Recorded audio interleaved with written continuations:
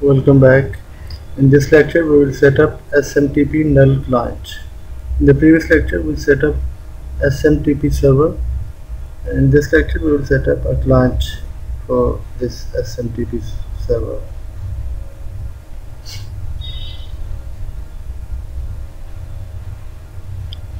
SMTP server was configured on IPA server so we will install the null client on system 1 and system 2 need to install postfix package.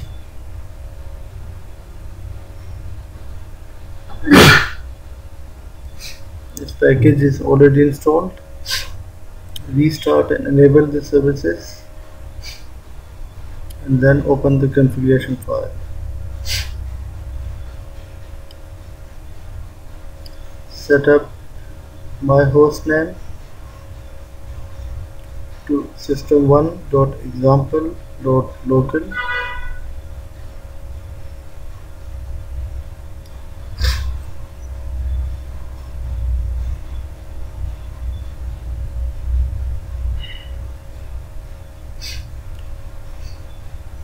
Or system1 this is the host name of this machine. And set up the domain name. My domain equals to example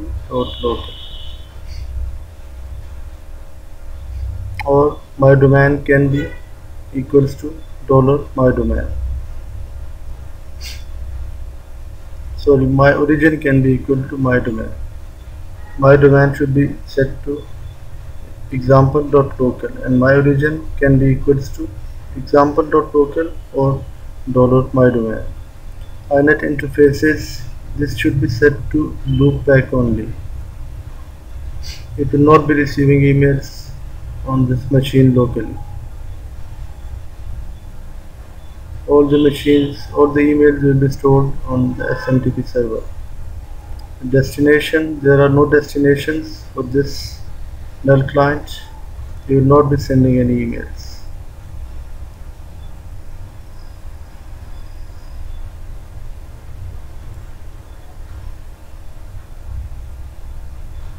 Relay host relay host should be set to the IP address of the SMTP server or the host name of the SMTP server. If you place it under the brackets this means that it will not go for DNS lookups.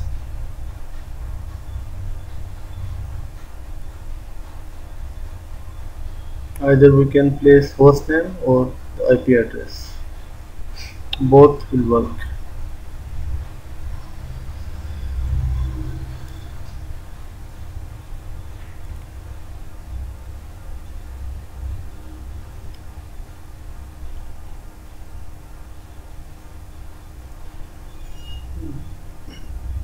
navigate to this path and open this file with standard configuration. All the configurations that we have just made are written under this file standard configuration db you can simply open this file and follow all the steps for null client configuration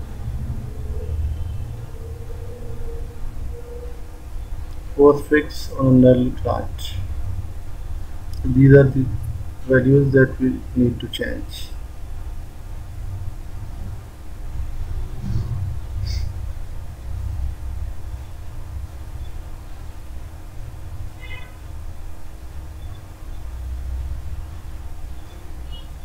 During the exam if you forget you can always open this file and take the help.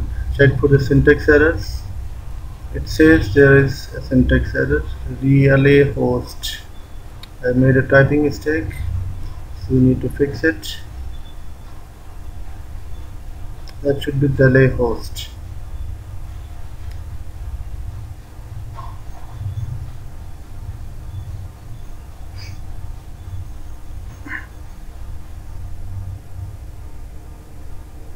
This time there are no errors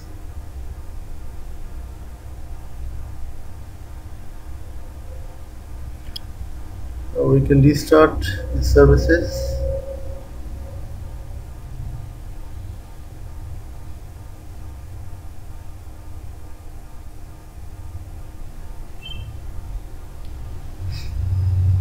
So we need to open another terminal where we will open the real-time mail logs while we are testing the email services.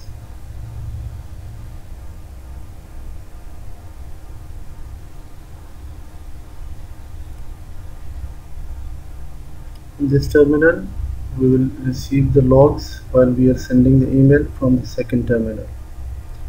So by doing this we don't need we will not be required to check the email from the destination. From the logs we can see whether the mail has been sent or not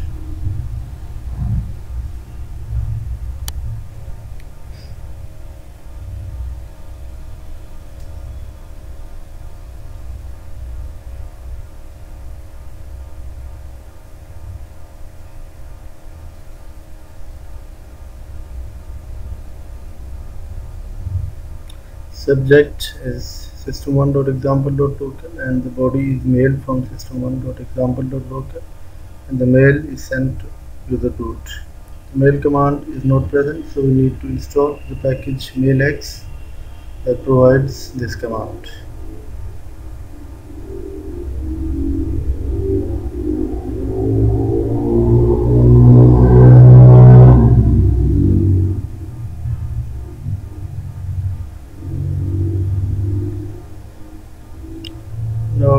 Sent the email.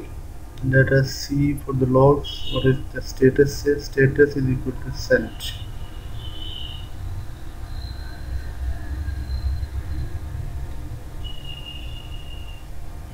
It says that the email has been sent. To verify it we need to log in to the IPS server and see the mail from there. The queue is empty. This email has been dispatched to the server 200 250 okay.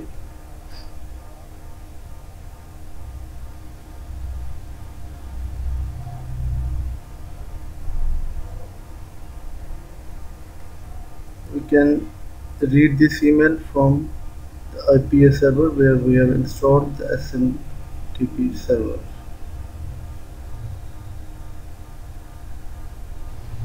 So we will SSH to IPS server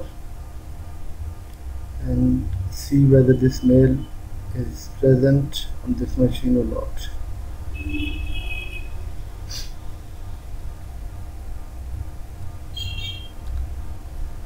There are two emails. Let's see the second email. What says the subject is mail from system1.example.local. This is the email that we just sent from the client. Thank you for watching this lecture.